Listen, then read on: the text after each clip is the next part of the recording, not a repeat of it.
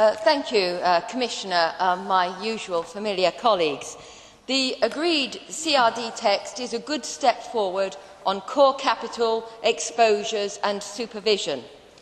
The securitisation provision, now with proportional penalties for due diligence failures, is not perfect, but it is fit for purpose, the purpose to rebuild confidence and repair the securitisation market.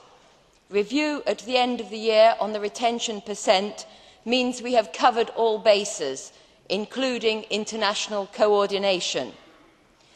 European problems with securitisation came on the buy side from the US, but fear has dried up our own securitisation, and banks have lost the main instrument that enabled them to sell on their loans, an important instrument because it freed up capital for further lending and was a major driver for growth.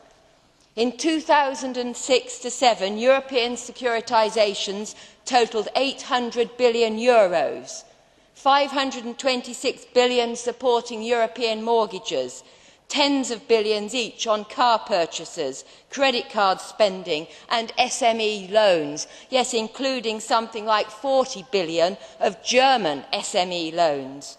These are the very areas where the credit crunch is biting hardest, and it's no coincidence. Because we have to face the fact that bank lending is limited by their capital, and they're stuck until either more capital is raised or the loan sold on. So, the sooner that we can get Europe's quality controlled securitisation working, the better.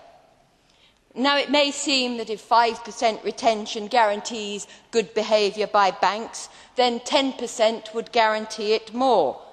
But the retained portion attracts a capital charge, so it reduces the capital that can be freed up and in turn restricts lending. A 10% hit during times of ongoing capital stress would just hurt borrowers and businesses, not banks.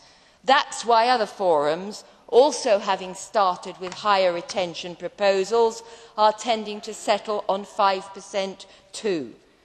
But ultimately, it will be intelligent supervisory sorry, vigilance that will prevent future new abuses rather than regulation for the old and gone.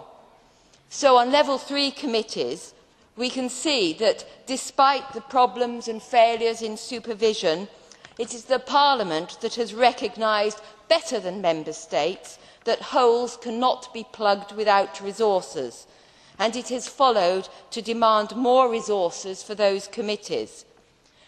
International accounting and audit bodies will also benefit from more diversified neutral funding and the EU can lead off on this, but not indefinitely if other countries do not join in, and I'm pleased to have clarified that.